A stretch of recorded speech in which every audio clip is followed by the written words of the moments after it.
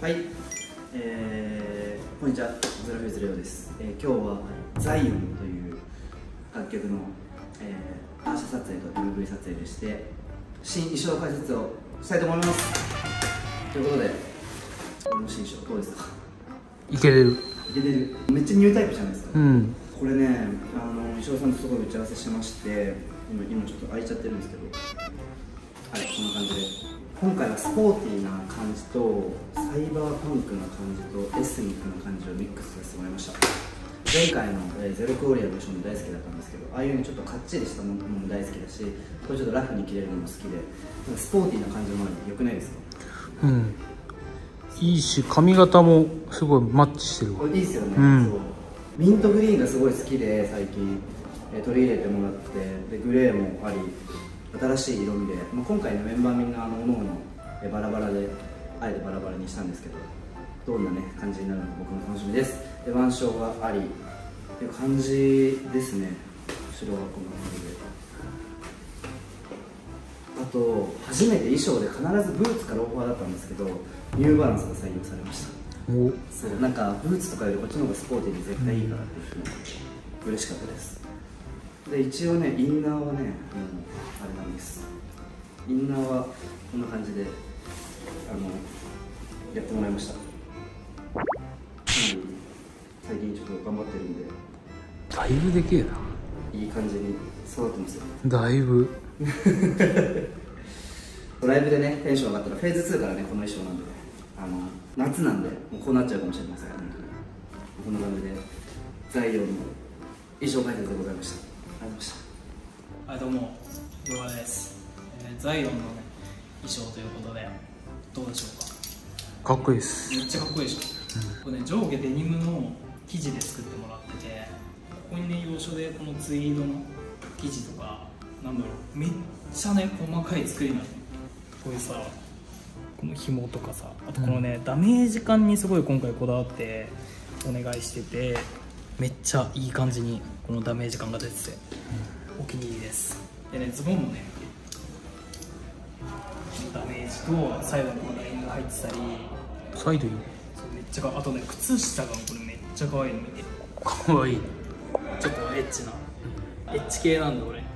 あこれリボンのとこ全然なんかコメントに心ないじろいやいやいや。いやゃんでこれ後ろねめっちゃお気に入りで。ちょっといかついしいかつめ強めっていうのを、うん。お願いしてたんですけどこのバンダナみたいな生地も入ってたりめっちゃ可愛い感じになります、あとこのね襟もね強そうなのでこれねレトロショルダーって違ったらすいませんなんで肩がちょっと上がってる感じ絶妙なさなんかそのちょっと別ゲートガンダムみたいになっちゃうじゃんそこをなんかそうならないようにかっこよく落とし込んで作ってくれましたそんな感じですめっちゃお気に入りですありますこんにちは。こんにちはザイオン MV の撮影ということで、今回の衣装どうでしょうか？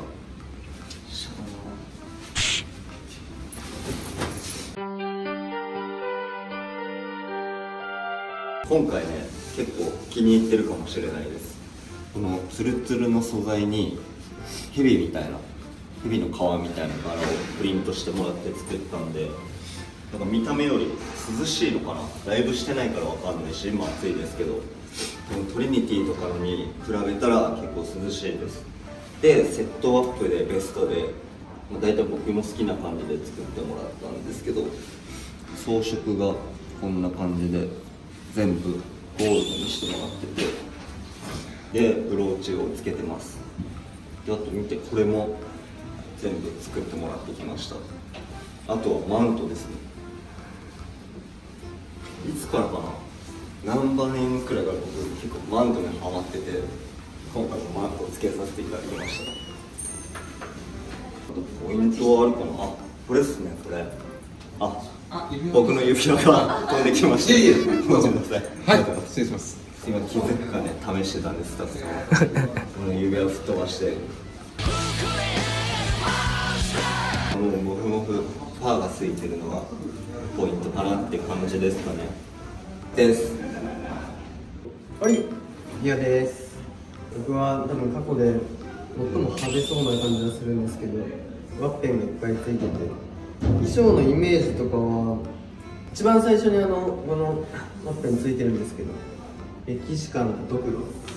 派手だしそれに興味を持ってみて日本もあのナスとキュウリみたいなお盆とかあると思うんですけど楽しく迎える。死ぬのが怖くないとかそういう話じゃないんですけど材料に合ってるかなと思っていっぱい派手にしてみました。リボンもついてて後ろはこんな感じです。一人であの一人だけカーニバルみたいな感じではあるんですけどリボンワッペンここもおしゃれなひらひら腕章ドクロプリストとても可愛いですね。本当に着心地も最高でいい衣装を作ってもらいました。ありがとうございます。はいこんな感じでザイオン衣装外出でした。メンバーのこだわりと、えー衣装さんたちの本当の作業のおかげでみんな好きな素敵な衣装を着ることができてとても嬉しいです。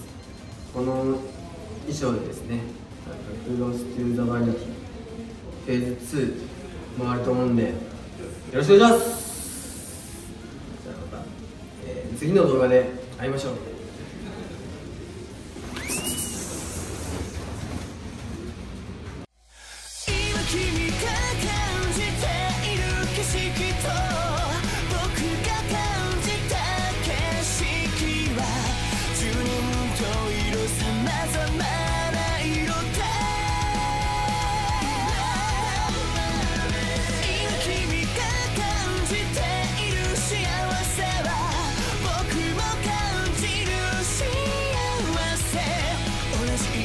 じゃなくたい僕ら同じ気持ちで